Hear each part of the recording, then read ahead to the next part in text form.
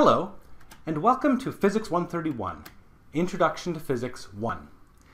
My name is Jason Harlow, and I will be teaching the second half of this course, starting in late October. I will also be the one recording the daily YouTube videos, which go over the reading you are responsible for. I'll talk more about that later. The first half of this course is taught by the guy right above me, Professor Brian Wilson. You'll see him in real life in class soon. The purpose of this course is to give you an introduction to how scientists think and how we approach problems. Physics is one of the oldest sciences, and in some ways it is the most simple. Physicists start with a big, messy problem, and we first simplify it as much as we possibly can. Only then do we try to analyze the situation.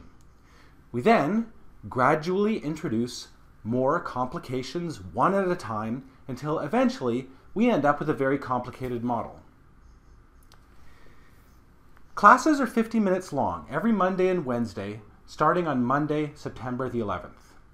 Each class is repeated twice per day, once at 11 a.m. in Convocation Hall, and then again at 5 p.m. in MP 103. You should only go to one or the other.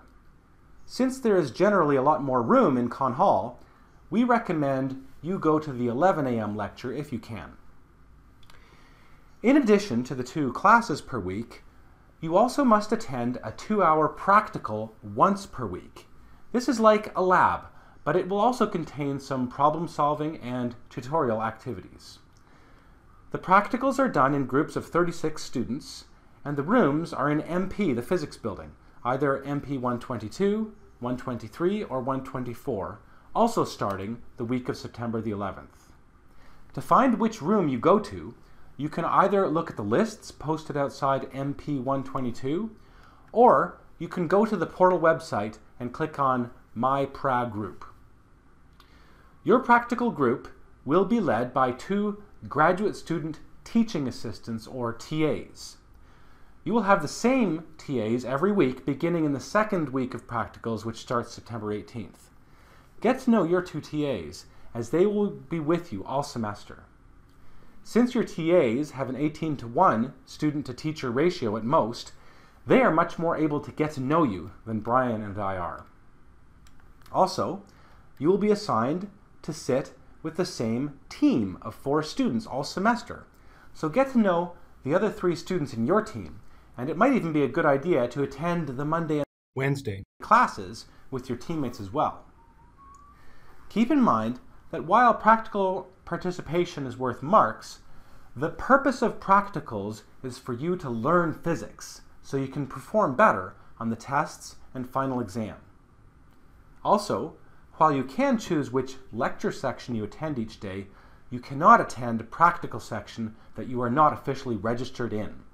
You must go to the practical section you are registered for and sit in your assigned seat or you will be marked absent and you will not receive any marks. Here is the marking scheme for Physics 131. Notice that 75% of your mark will be determined by the two midterm tests which are 80 minutes each on two different Tuesday evenings, and the final exam, which is two hours long in December. The other 25% of your mark comes from your teamwork and practicals, and your work on the online homework and in-class quizzes. This is the textbook you'll need. It's called Essential University Physics, 3rd edition by Richard Wolfson. The new book comes with an access code for Modified Mastering Physics. So, if you get a used copy, you will need to purchase an additional code which costs $70. We use Volume 1 of this text for Physics 131 and Volume 2 for Physics 132, Introduction to Physics 2, which begins in January. Now, you will quickly notice that the classes in this course are not really lectures in the traditional sense. There is a body of evidence coming from physics education research which shows that students learn best when they are active and that simply listening to someone lecture is not a great way to learn. So, Physics 131 classes involve in-class quizzes every day, which can be done on a smartphone, tablet, or laptop. And we encourage you to discuss these quizzes with your peers in the classroom. In order for these discussions to be productive, we strongly suggest that you do the reading before coming to class. Note that before every class, we will post a YouTube video, kind of like this one, going over the highlights of the daily reading. If you really don't want to read the textbook before coming to class, then please at least watch the pre-class video on YouTube. This will be enough to prepare you for the pre-class quiz and the in-class questions and discussions each day. Remember, links to all materials are posted on portal.utoronto.ca. Please check it often. So, that's it for now. If you look on the portal, you will soon find another video for the Wednesday, September 13th class. In that video, I'll actually start talking about physics and solving some physics problems.